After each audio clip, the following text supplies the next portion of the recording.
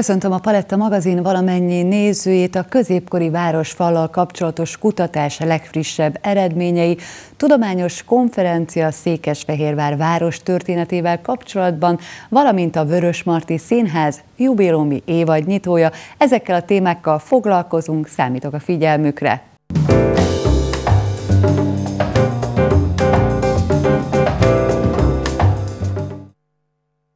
Akár már István korában megkezdődhetett a Székesfehérvárt körül ölelő városfal építése, ez is bebizonyosodhat a Jókai utca 14 szám alatt zajló feltárás eredményeként. Az a termésköves réteg, ami már csak ott van meg egy ilyen téglalap alakban, ez a teljes gerenda alapozás területe fölött terjeszkedett, tehát mindenhol, ahol ezt a rás szerkezetes gerenda alapozást látjuk, ott ott volt ez a termésköves réteg. Úgyhogy ez az alapozásnak a szerves része. És csak erre jött rá a felmenő falazat, maga a városfal, amit sajnos itt nem látunk. Mert... Szöcsi Frigyes konzulens régész vezette körbe stábunkat a Jókai utca 14 szám alatti feltárás területén. Ez a rács szerkezetű gerenda alapozás tartotta a városfalat. Korábban a Fehérvár Televízió beszámolt róla, hogy idén nyáron a mostani járószinthez képest körülbelül 5 méteres mélységben a Székesfehérvárt körülvevő városfalnak valószínűleg az alapozásához tartozó gerendákat tártak fel. Ez egy tervásatásnak minősülő feltárás. Azért van jelentősége, mert ugyanis Székesfehérvár belvárosát ugye nagyon nehéz kutatni, mert nagyon kevés a beépítetlen terület. Most nagyon nagy szerencsénk van, hogy gyakorlatilag egy üres telken áshatunk, és ezúton is szeretném megköszönni természetesen a telek tulajdonosának, aki hozzájárult, hogy mi feltárhassuk az itt található, majd később bemutatásra kerülő városfal alapozását.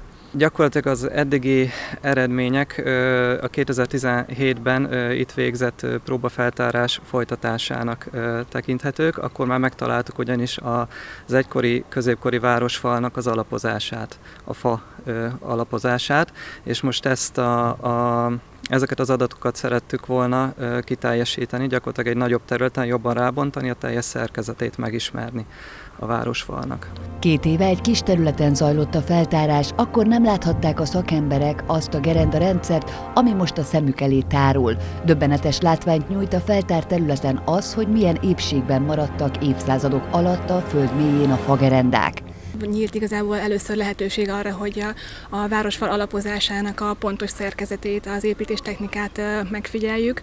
A, annyi a, a különbség az eddigiekhez képest, hogy a felmenő fal itt nincsen meg, ezért az alatta levő gerendákat így teljes egészében ki tudtuk bontani, és pontosan látszik, hogy hogyan épült fel. A nagy a valószínűsége, hogy igen, a, a városfal nyomvonalán feltárt gerendák egy olyan masszív szerkezetet mutatnak, ami nagy valószínűséggel eredetleg a, és a kőfalnak az alapozásaként épült, és ami a városfal belső oldalán feltárásra kerültek kisebb gerendák, azok egészen más szerkezetet mutatnak, tehát az biztos, hogy nem egyben épült a kettő.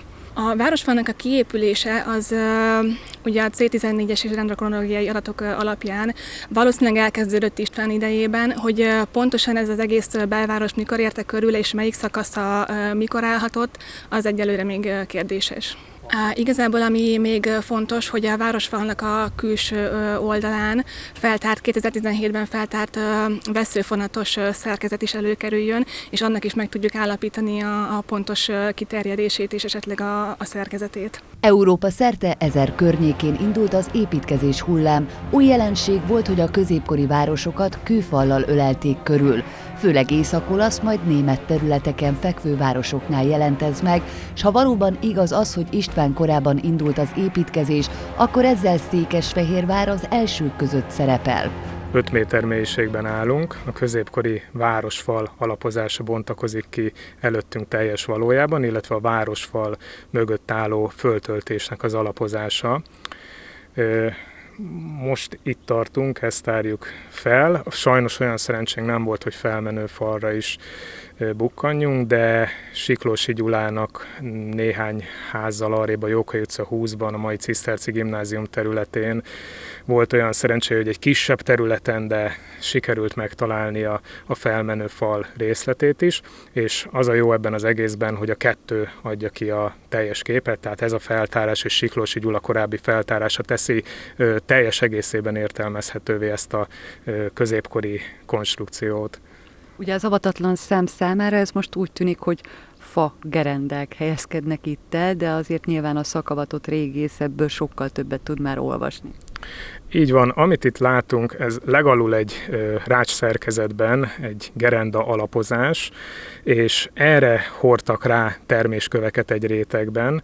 A terméskövek között fekete iszapot használtak egyfajta kötőanyagként, ezzel egy nagyon stabil, jó tehertartó képességű alapozás jött létre, és erre húzták rá a felmenő városfalat, egy, egy több méter magas, hát igen súlyos és széles, kettő, kb. kettő és fél méter széles városfalat, és mögötte pedig azok a gerendák, amik egy, egy más típusú szerkezetet alkotnak, tehát messze nem egy ilyen stabil alapozás, mint ami maga a kőfal alatt húzódott, az ott a, a városfal földtöltésének az alapozása. És keressük még itt a városfal előtti részen a 2017-es próbafeltárás eredményei alapján egy ilyen veszőfonatos szőnyegszerű rétegre egy ilyet lehet Szőlősi Csilla kolléganőm, és ezt a réteget próbáljuk itt is megtalálni. Valószínűleg annak a, a kivitelezésnél lehetett szerepe, csak abban az időszakban, amikor építették a falat. Mi történik majd az itt megtalált anyaggal? Itt hagyják-e, vagy, vagy esetleg kiemelik, viszik további vizsgálatra?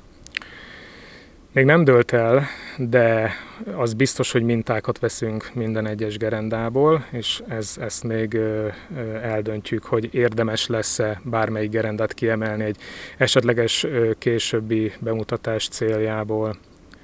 Ugye az már elhangzott, hogy mekkora jelentősége van annak, hogyha valóban ezek az anyagok is megerősítik, hogy a 11. században épülhetett a városfal, de ez miért ilyen fontos? Mire enged következtetni? Több szempontból is fontos. Egyrészt azért, mert Európa szerte egy új jelenségről van szó, amikor egész középkori városokat fallal ölelnek körbe, ezer környékén indul ez a, ez a építési hullám, bár akkor még nem hullám, mert nagyon kevés város dicsekedhet ezzel, főleg észak-olasz és majd német területeken fekvő városok, és ezek között az elsők között van így Székesfehérvár, hogyha valóban igaz az, hogy Szent István király korában már megindulhatott az építkezés. A másik, ami miatt fontos, hogy ennek a városfalnak nyilván volt egy szerepe, ezt valamiért felépítették ide, és úgy gondoljuk, hogy ez egyrészt a városnak a, a jelentőségét hangsúlyozza, másrészt pedig a Szűz Mária préposság királyi koronázó templomunk védelme lehetett a feladata. És ezért így minden mindennel összefügg ebben a nevezzük így kirakós játékban Fehérvár szerepének tisztázása szempontjából kiemelkedő fontosságú ez a feltárás. A C14-es kor meghatározás és a dendrokronológiai vizsgálat eredménye erre egyértelmű választ ad. Az eredmény decemberre várható. Az látszik, hogy a mostani feltárás és a Siklósi Gyula régész professzor 1981-ben a Jókai utca 20 szám alatt végzett kutató munkájának eredményei kiegészítik egymást, pontosabb képet alkotva Székesfehérvár szerepéről, jelentőségéről. részéről.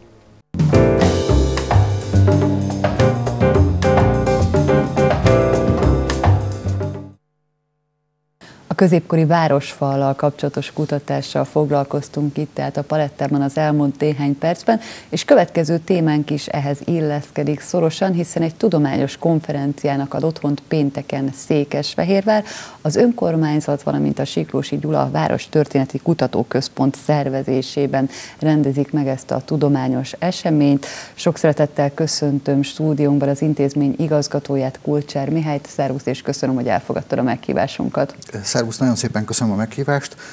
Köszöntöm a Fehérvár Televízió nézőit is. A hír igaz, valóban egy tudományos konferenciára kerül sor a Városháza dísztermében e hét péntekén.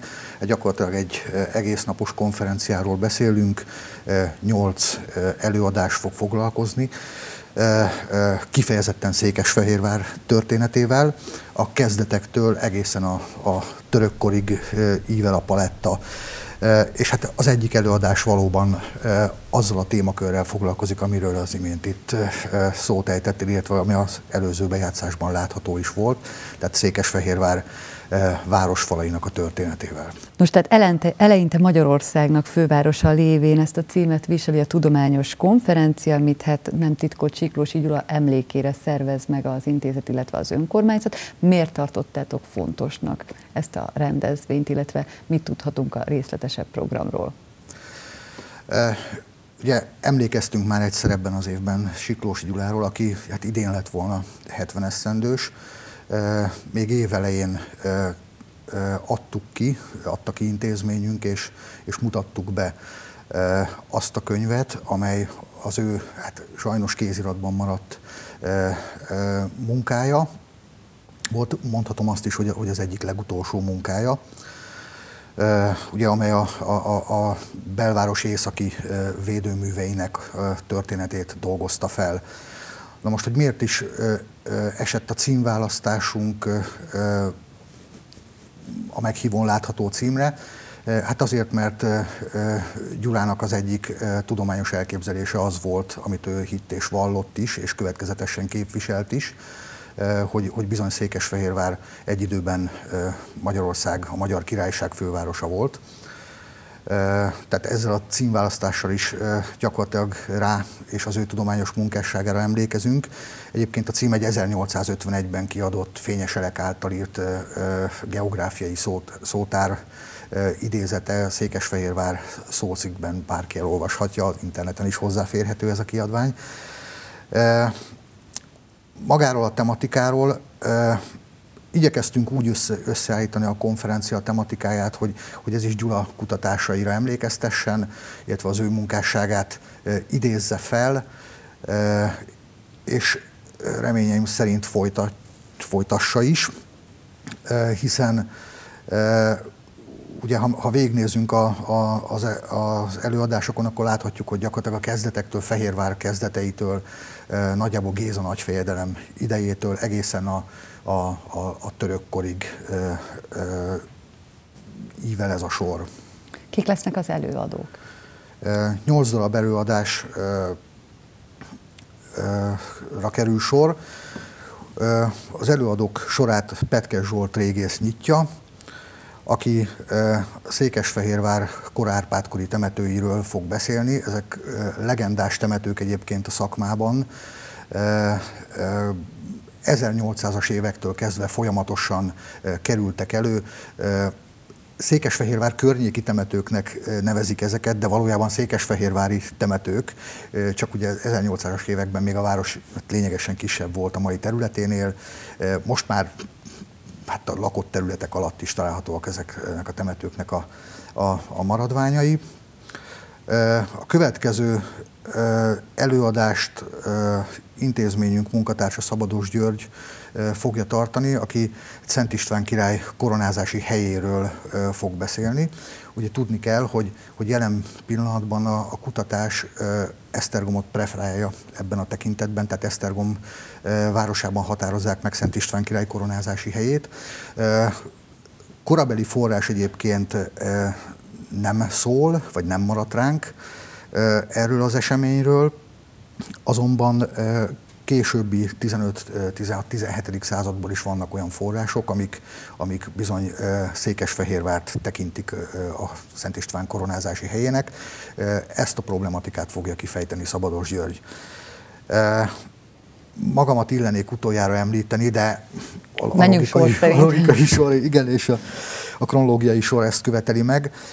Hát magam ugyanerről a, a problémakörről fogok beszélni egy, egy más forráscsoport vonatkozásában, nevezetesen Szent István király koronázása alkalmából vert érmet, pénzeket fogom elemezni, de ne ijedjenek meg a, a tisztelt tévénézők, illetve a konferencián résztvevők, hiszen nem ez a száraz numizmatikai előadás lesz, csak hát kénytelen vagyok a pénzről beszélni, hiszen azt a, a kutatása a koronázásra velt éremként határozza meg,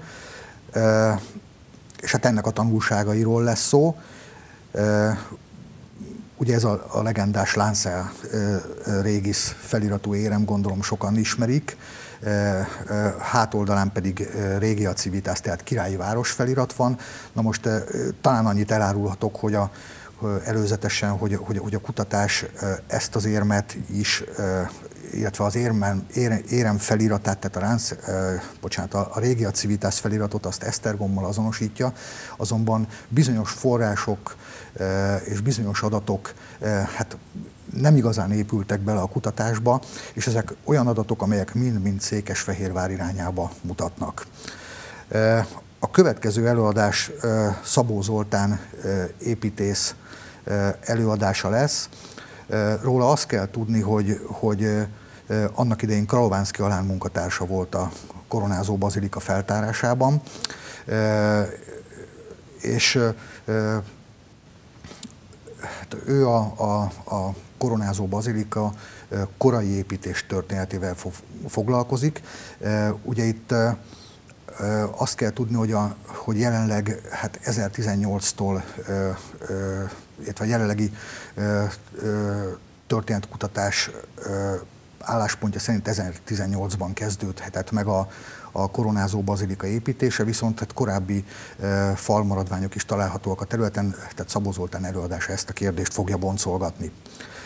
E, és ezzel a, a konferencia első felének, a első blokkjának a, a végére értünk. Ugye ez a négy előadás, ez, ez szigorúan Árpádkor. A, a következő blogban négy előadás, szintén négy előadásra kerül sor, ami viszont már a késő középkor a vegyesházi királyok korába vezet minket. A második blogban az első előadó Teiszler Éva történész kolléganőm, a Siklós Gyula Város Történeti Kutatóintézet munkatársa, aki egy érdekes problémáról fog beszélni, nevezetesen arról, hogy ugye egy fontos kérdés volt a királyné koronázás is, most a királyné koronázásokról azt lehet tudni, hogy, hogy a 15. századból vannak egyértelmű források, amik megjelölik azt, hogy Székesfehérvárot került sor a királyné koronázására. Korábban feltételezték azt, hogy, hogy, hogy például Veszprém is koronázó helyként funkcionálhatott, és hát a, a, a történész kolléganő ezzel a kérdéssel fog foglalkozni. Olyan összefüggéseket talált, ami, ami, amivel megvilágíthatóvá válik az, vagy igazolhatóvá válik az, hogy, hogy Nagy Lajos király királyunk első feleségét, luxemburgi Margitot bizony Székesfehérvárot koronázták meg, holott erről konkrét forrás nem szól, de például a koronázáson résztvevőknek az itineráriuma eh, az, az egyértelműen arra utal, hogy ők egy időben egy helyen itt lehettek Székesfehérvárot, ergo a koronázásnak is itt kellett eh, megtörténnie. Eh, a hatodik előadás Szöllősi Csilla régész kolléganő előadása lesz, vagy aki a Szent István Király Múzeum munkatársa. Tulajdonképpen az ő kutatásairól beszéltünk itt a, a Műsor elején megláthattak egy összeállítást is gyakorlatilag, ugye? Ez a Jókai utca 14. Így van, ez a Jókai utca 14-ben jelenleg is, tudomásom szerint jelenleg is folyamatban lévő feltárás, ugye aminek előzménye az, hogy, hogy már a tavalyi évben is feltáró munkára került sor, és hát ez konkrétan a városfal feltárását célozza meg. Illetve az előadásban szó fog esni egy másik területről is, a múzeum régi országzászlótéri épülete mögötti foghítelekről van szó, ugye, ami a, ami a, a szoborkert területe tulajdonképpen. Tavaly évben ott is sor került egy régészeti feltárásra, és hát ott konkrétan a, a Siklós Gyula által korábban is kutatott úgynevezett újabb királyi palotához tartozó erődítés maradványok kerültek felszínre. Tehát erről fog szólni a, a hatodik előadás.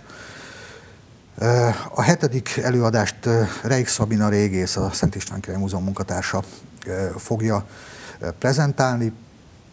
Ugye ő a, a Szent István Király Székesegyház belső terében folytatott régészeti feltárást a tavalyi év folyamán, ahol egy középkori templom maradványai, a Szent Péter és Pál templom maradványai kerültek elő, aminek egyébként, bár szerintem ezt már mindenki tudja, Székesfehérvárot fontos szerepe volt a, a királykoronázási szertartás rendben is, hiszen a, a koronázó bazilikában, legalábbis a késő középkori forrásokból ismert módon a koronázó bazilikában felkent és megkoronázott uralkodó ide ebbe a templomba vonult át, teljes uralkodói díszben, és itt, itt mondta el első ítéleteit. Tehát ez egy kiemelt jelentőségű templom volt.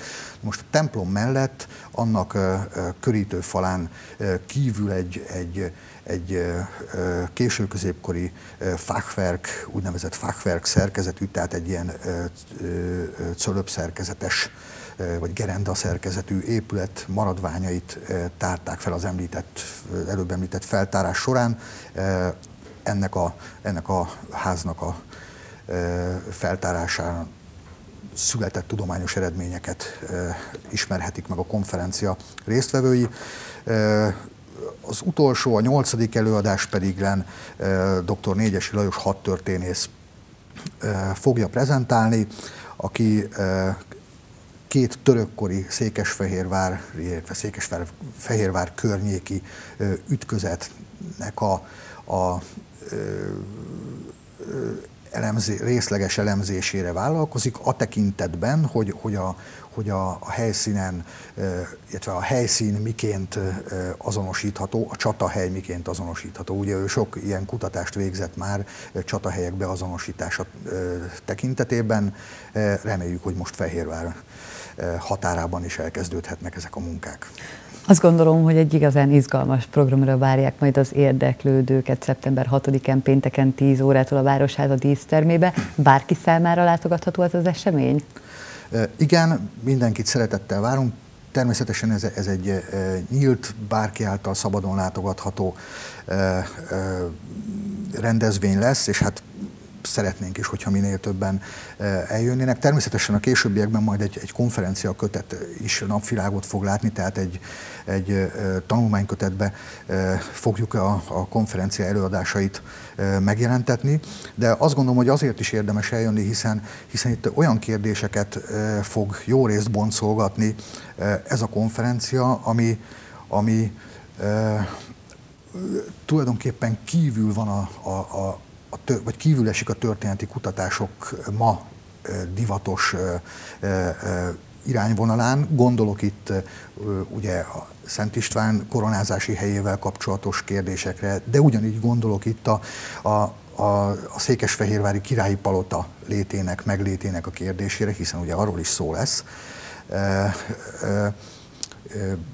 Ami egyébként hát Tudjuk jól, hogy a fehérváriak számára azon túl, hogy, hogy a történelmi érdeklődőknek számára egy fontos kérdés, de ugyanakkor a fehérváriak számára egy érzelmi kérdés is. Köszönöm szépen még egyszer, hogy itt volt. Nagyon szépen köszönöm a lehetőséget.